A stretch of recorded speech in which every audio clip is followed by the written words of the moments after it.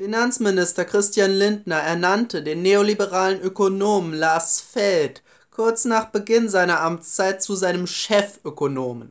In dieser Position hatte die Aufgabe, den Finanzminister zu beraten und die Wirtschaftspolitik der Ampel zu rechtfertigen.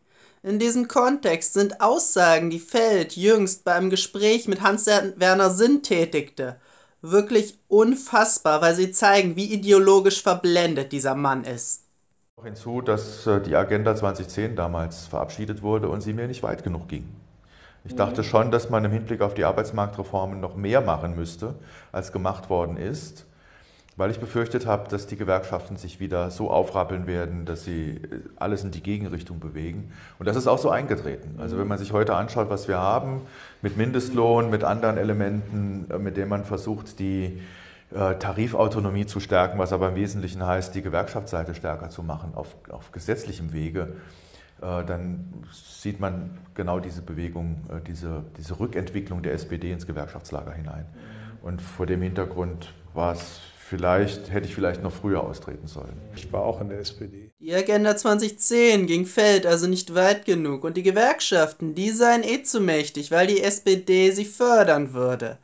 Nun, schauen wir uns das mal in einer Statistik an. Seit Gründung der Eurozone sind die Löhne in Deutschland fast überhaupt nicht gestiegen, also die Reallöhne jetzt.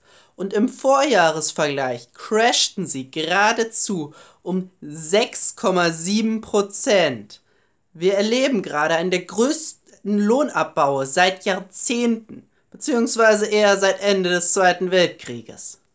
Die Gewerkschaften sind also nicht zu stark, sondern eher viel zu schwach. Die Agenda 2010 war der größte Sozialabbau in der deutschen Geschichte, der dazu führte, dass die Lohnstückkosten in Deutschland langsamer stiegen als in den anderen europäischen Ländern und Deutschland dadurch seine riesigen Leistungsbilanzüberschüsse erwirtschaften konnte. Aber das hatte ich ja schon in anderen Videos erklärt. Nun, aber woher kommen diese Aussagen von Feld? Das lässt sich wohl mit seinen sonstigen Tätigkeiten erklären. Wenn man Wikipedia Glauben schenken darf, dann ist Feld Mitglied in der Mont Pelerin Gesellschaft, des größten neoliberalen Netzwerks der Welt, im Kronberger Kreis, im wissenschaftlichen Beirat im Bundesfinanzministerium, im Wirtschaftsrat der CDU, eine neoliberale Lobbyvereinigung innerhalb dieser Partei, und in der Ludwig-Erhard-Stiftung.